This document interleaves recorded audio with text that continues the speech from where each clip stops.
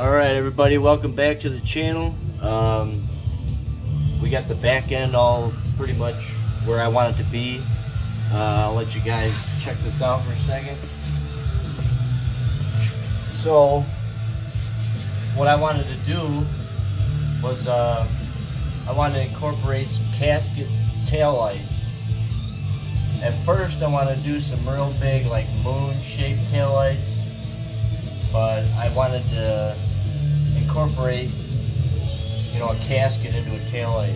So that's what I did, and if you can see, I got uh, this will be the point of the metal work here. So you won't see the top of the casket unless you know you're looking down here then you'll be able to see it so I'm kind of masking it so you really don't see it all you'll really see is is about this section here unless you were to go up to it and check it out you know so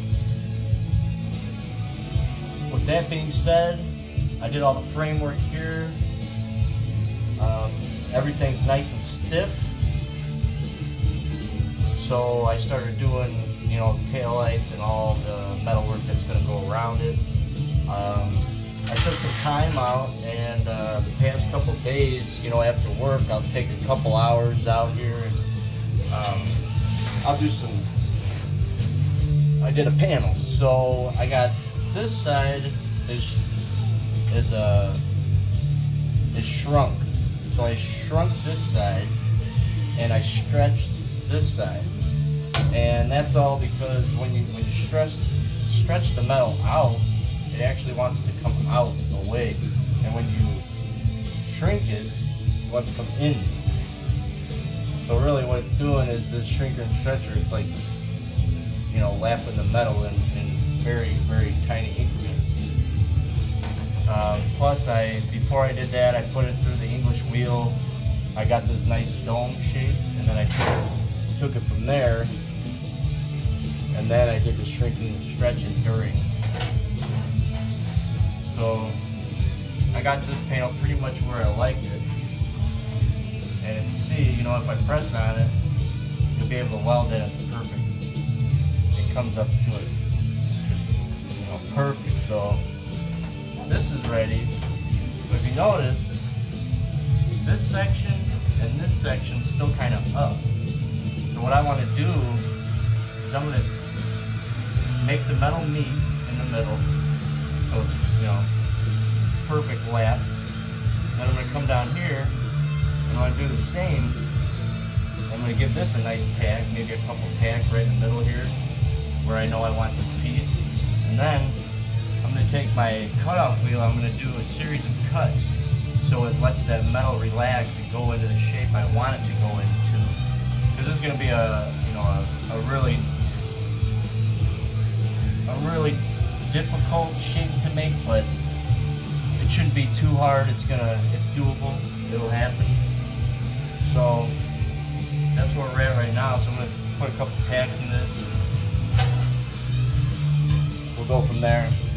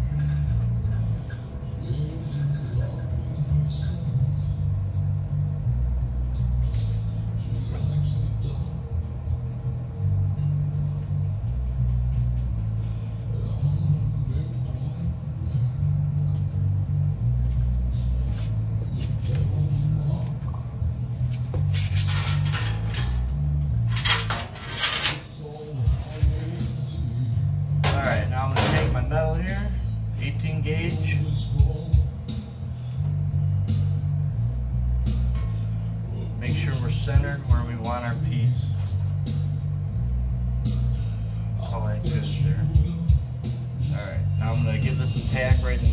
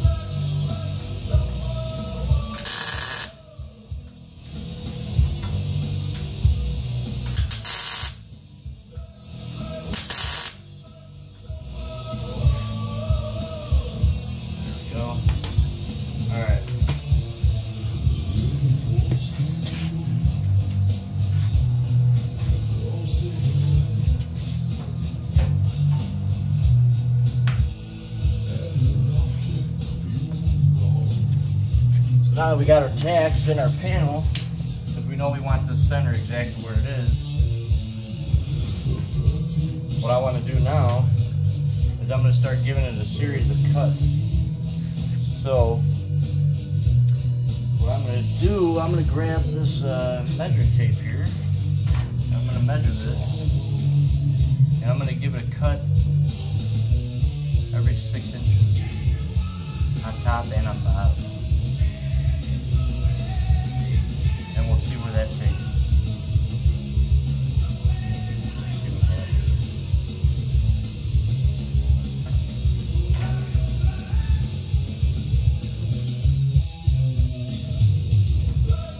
So I went six inches, a foot, and then six, 16 inches.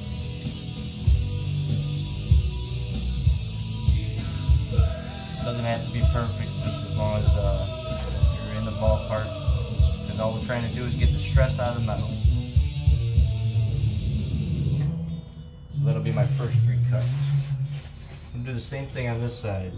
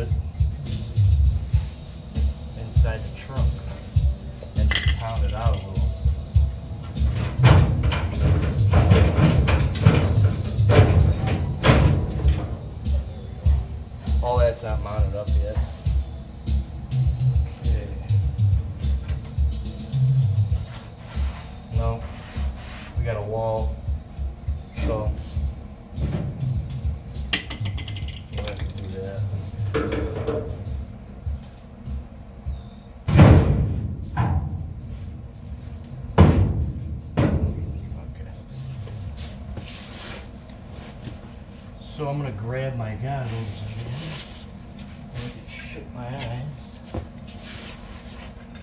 And We'll just do that technique. I do have a stud puller, but since it's just one small area, I'm sure I can just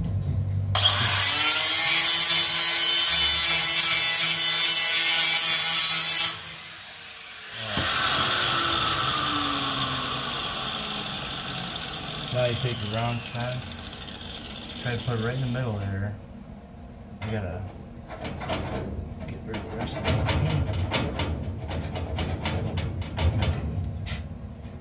Okay. I think we'll be good with that.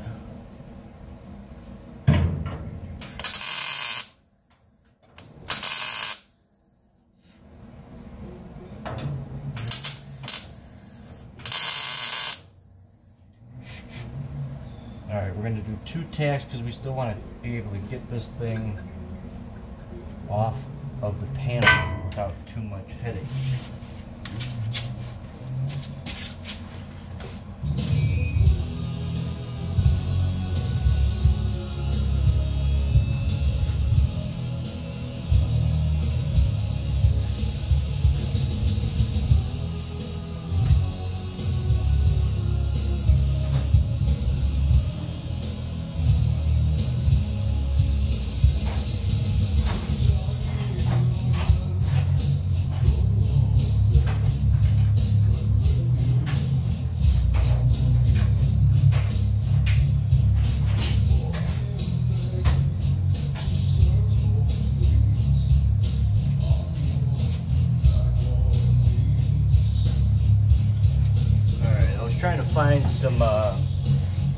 needle nose vice screws.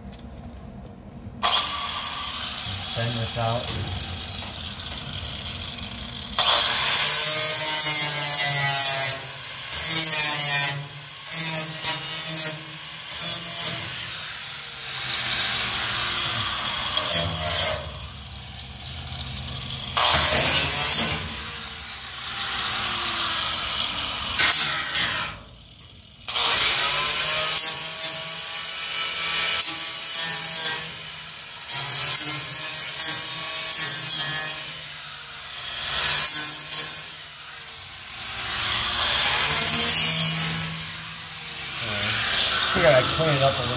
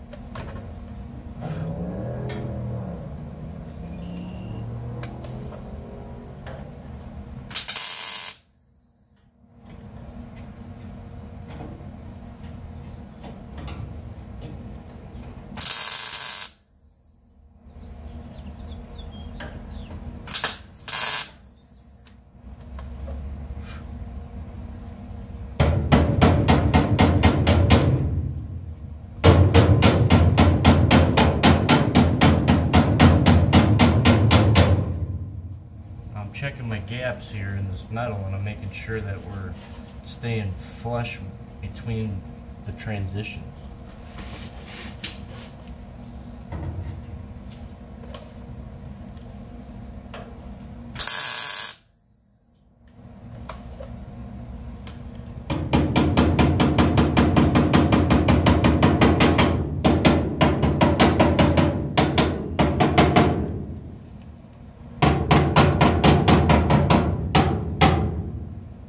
go back, uh, you know, as you're welding, the heat will actually expand some of this metal sometimes out a little. So I go back and I just bring it back into alignment so then you can just weld it without any gap.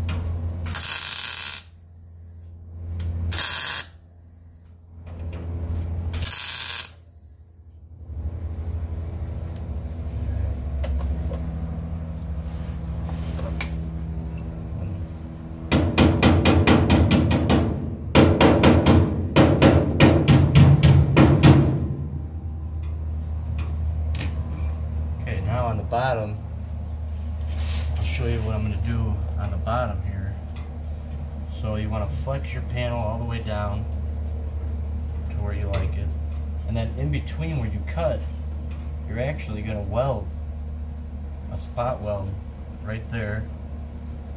Tack, tack, tack. And then once you got that, then you can cut this back because you don't need this, that piece anymore. And then you'll be able to tack it all along the uh, bottom edge. So we're gonna do that right now. I'll start over here and work my way out. So I'll do one more tack on this panel.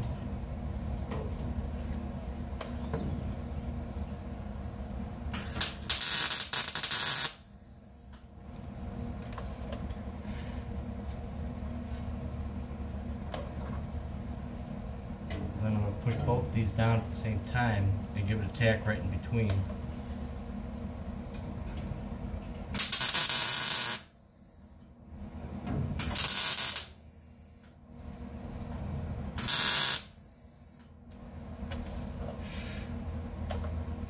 There we go. And just walk it do the same, same thing.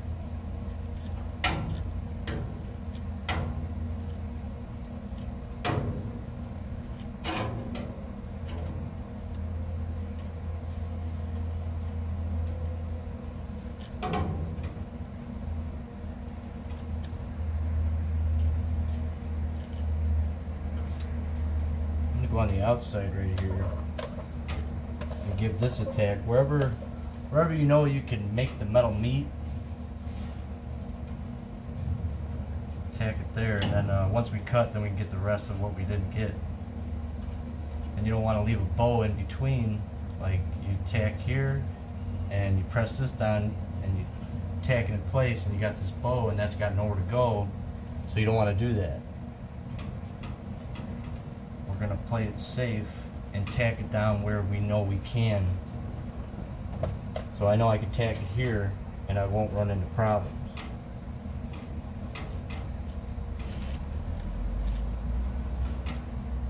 Okay, give that a quick, quick tack here.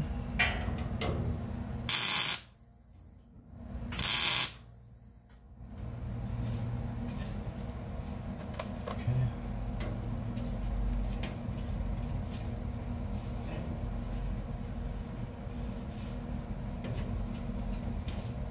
Now this is all sitting real nice and flush. So I'm gonna tack it in between because I don't think I'm gonna run into a problem underneath here. I'm feeling it under there and I don't feel a bow. It feels like it's all sitting flush.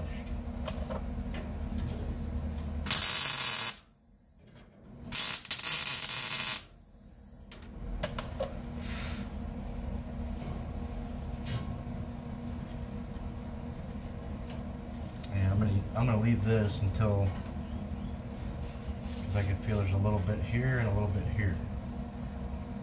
So we'll continue on. We'll do the same thing to this side real quick, and then we'll cut it all at once so it's it's all done at once. No point in uh, doing it twice. So again, just making sure everything fits. Everything's looking pretty good. I could actually squeeze this and just weld it, but I'm gonna use this just so I don't burn myself.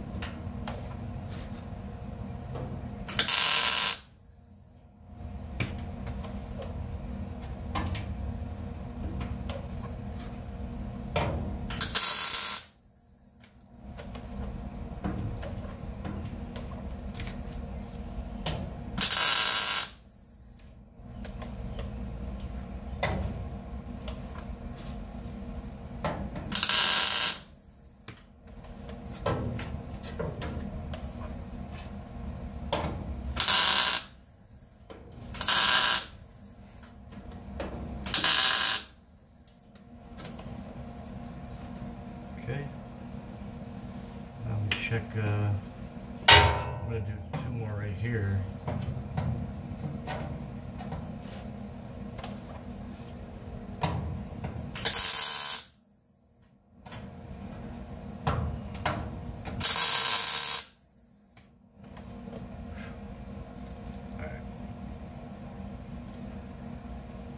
Now that we have that, we'll do the same thing that we did on the other side.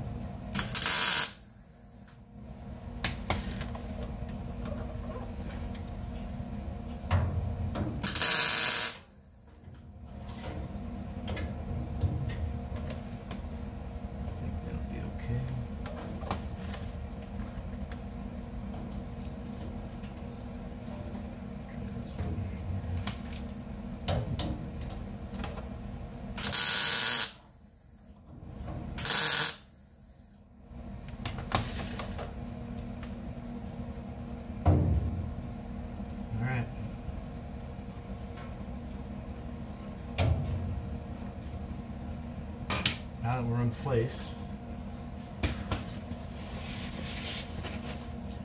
now all we gotta do, take our metal, and just follow the lines.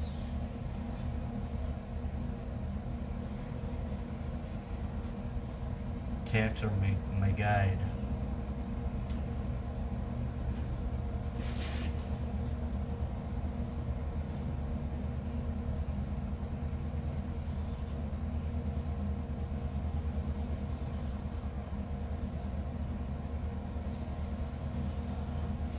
Alright.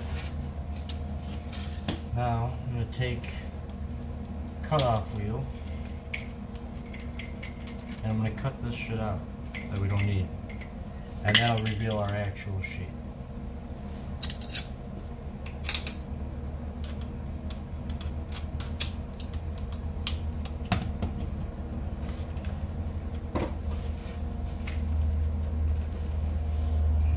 Mm, Probably put that somewhere out of the way so we'll get all sparked out.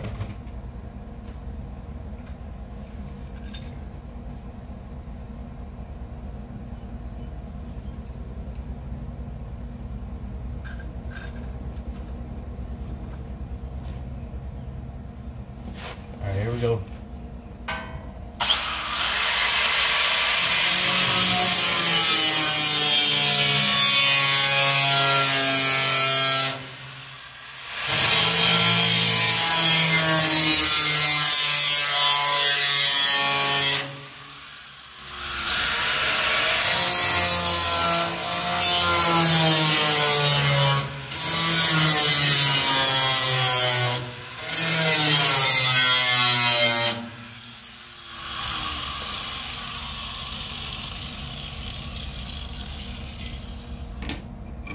Alright, now that I made the groove in the metal,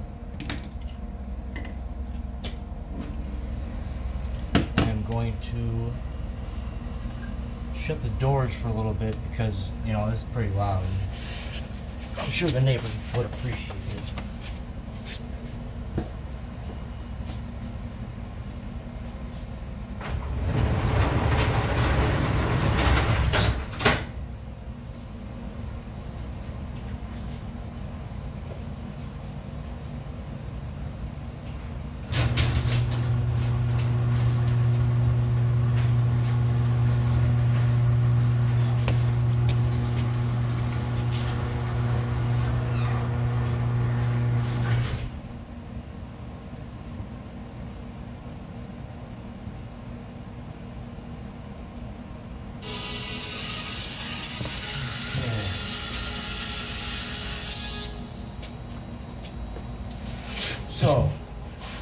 preliminary cuts.